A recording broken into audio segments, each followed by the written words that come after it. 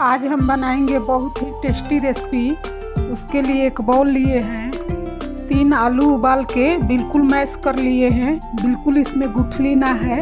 अब इसमें डाल देंगे आधा छोटी चम्मच चिली फ्लेक्स डालेंगे। आधा छोटी चम्मच नमक डालेंगे। दो चम्मच अरारोट के आटा डालेंगे। इसकी जगह आप मैदा के भी इस्तेमाल कर सकते हैं। अरारोट के आटा ना है तो। अब इसको अच्छे तरीके से मिक्स करके मिला लेंगे। इसको अच्छे तरीके से मिक्स करके मिला लिए हैं। अब एक बाउल में तेल लेंगे, इसको साइड कर देते हैं। फ्लेम को चालू कर दिए हैं मीडियम फ्लेम पे पैन रख दिए हैं गरम होने के लिए। अब इसमें दो छोटी चम्मच तेल डाल देंगे। तेल को गरम होने देते हैं। अब इसमें आधा छोटी चम्मच जीरा डाल देंगे। जीरा को हल्का ब्राउन होने देते हैं। जीरा हल्का ब्राउन हो गया है। अब इसमें तीन कली लहसुन के बिल्कुल बारीक काट लिए हैं। इसको डाल देंगे।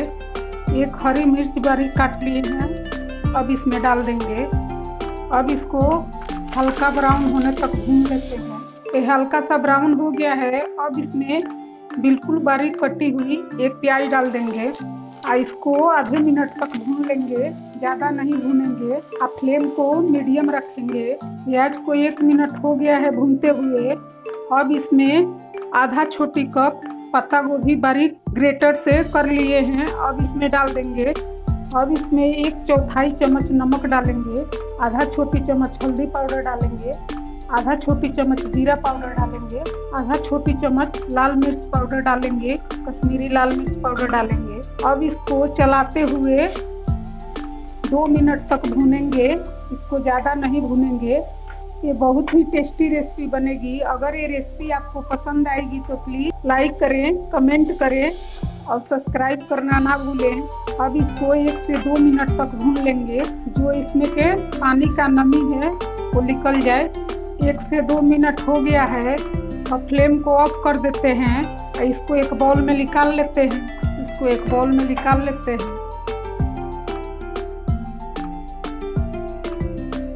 और जो स्टॉपिंग तैयार किए हैं, उसको लेंगे, हाथ पे तेल लगा लेंगे इस तरीका से।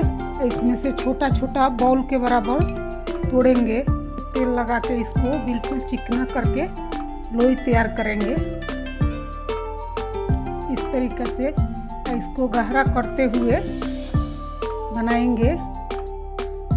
इस तरीका से इसमें से एक चम्मच स्टॉपिंग लेंगे। इसको दबाते हुए बंद करेंगे।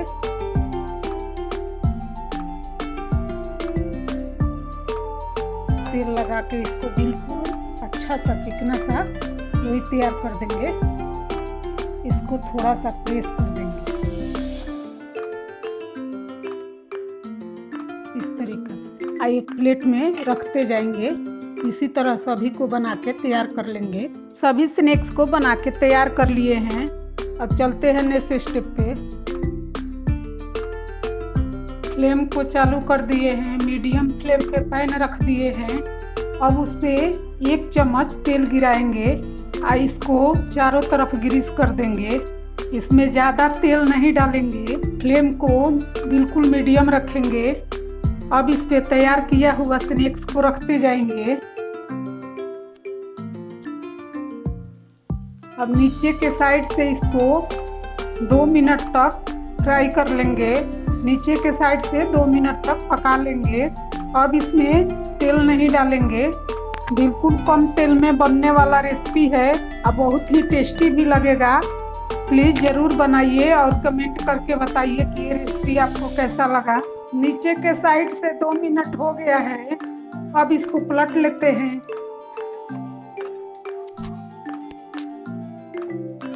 देखिए कितना अच्छा दिख रहा है। इसी तरह सभी को पलट लेंगे।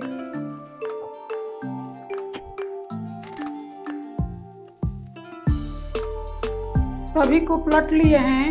अब एक चम्मच किनारे के साइड से फिर से तेल गिरा देंगे कि नीचे के साइड से फ्राई हो जाए। और नीचे के साइड से भी मीडियम फ्लेम पे दो मिनट तक फ्राई कर लेंगे। नीचे के साइड से भी दो मिनट हो गया है। क्रिस्पी भी दिखने लग गया है। अब फ्लेम को ऑफ़ कर देते हैं और इसको एक प्लेट में निकाल लेते हैं। देखिए पलट के भी दिखा रही हूँ कितना अच्छा क्रिस्पी बना हुआ है। टिक्की वगैरह तो बच्चों के बहुत पसंद है। आप चाहें तो इसको लंच में भी दे सकते हैं बच्चों के बना के। अगर ये रेसिपी आपको पसंद आएगी तो प्लीज़ लाइक करें शेयर करें और सब्सक्राइब करना ना भूलें। Thank you